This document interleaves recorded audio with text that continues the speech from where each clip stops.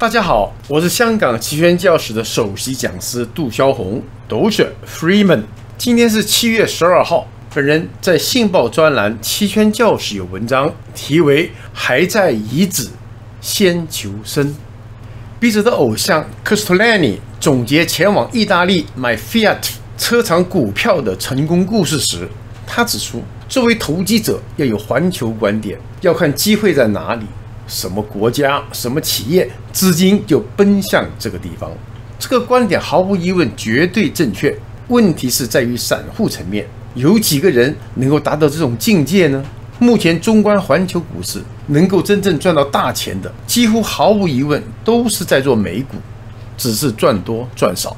各种原因，笔者没有做美股，只专注港股期权，被朋友们笑为 homesick，与他们提及。港股期权，他们的观点颇为一致，不是你杜舍讲的不好，而是港股实在又残又废。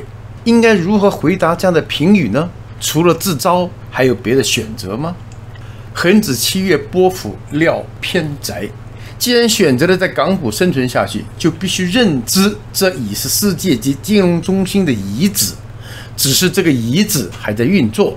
因为香港目前仍有大英百年留下的普通法及非常自由的资金进出制度，若这些都没有了，遗址会进入倒数，最后变成废墟。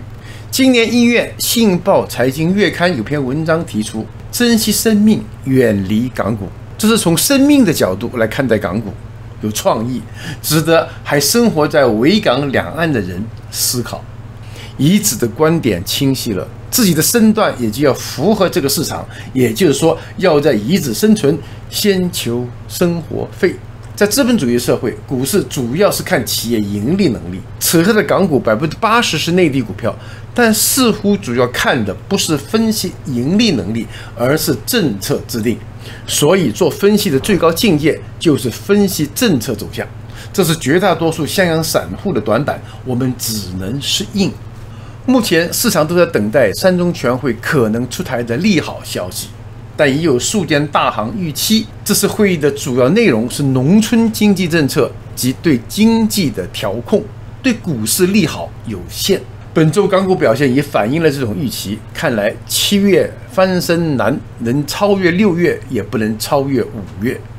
闭着操作期权，利用指数波幅速算小工具，输入恒生指数和恒生波幅走势的现值，推算三十个例日后恒指收市的点数分布几率。收市之比时，恒指一万七千八百三十二点，波幅指数二十点五三，产生对应的标准差是一千零五十七点。根据随机数学模型呈中型。Bell-shaped 分布出现率最高是正负一个标准差内的区域，目前是上一万八千八百八十九点，下一万六千七百七十五点，占全部几率的六十八点二 percent。出现几率次低，这是从一个标准差到两个标准差的区域，分别是上一万八千八百八十九点至一万九千九百四十六点。下一万六千七百七十五点至一万五千七百一十八点，各占十三点六 percent 的几率。按恒生指数本月开市是一万七千六百六十九点计算，相比五月、七月将如同六月是一个波幅偏窄的月份。由于预期波幅低，期权的引申波幅也会低，期权金当然便宜。做 short 不论 call put 都只能比较贴价，因此要多费心机，尽可能利用有限的波幅做觅食进场，方向对就觅食半熟牛扒当三番，提防突然出现的波幅，宁愿等有机会再开。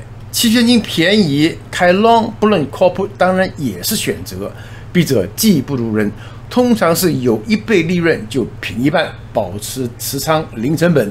但波幅窄，零成本进场到最后还是零收益，等于白做。看来要改变策略，坚持持仓，先看波幅，再看时间，实为先。此刻在遗址就是 long and short 并用，先求生赚生活费。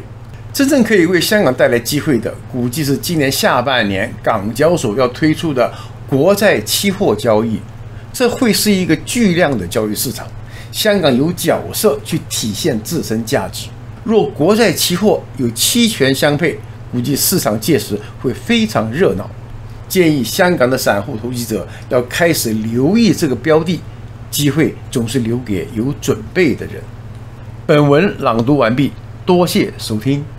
香港期权教室成立于二零零八年。杜肖红老师自2007年起撰写信报专栏《期权教室》，至今十五年来从未间断，是一位略有知名度的专栏作者。In 2018, Mr. Freeman Toh was honored with Stock Futures of Auctions Education Partner Award issued by Hong Kong Exchange and Clearing Limited. 期权教室出版的期权系列书籍，在香港以及台湾各大书店均有发售。国内读者若需购书，请以电邮联络我们。谢谢。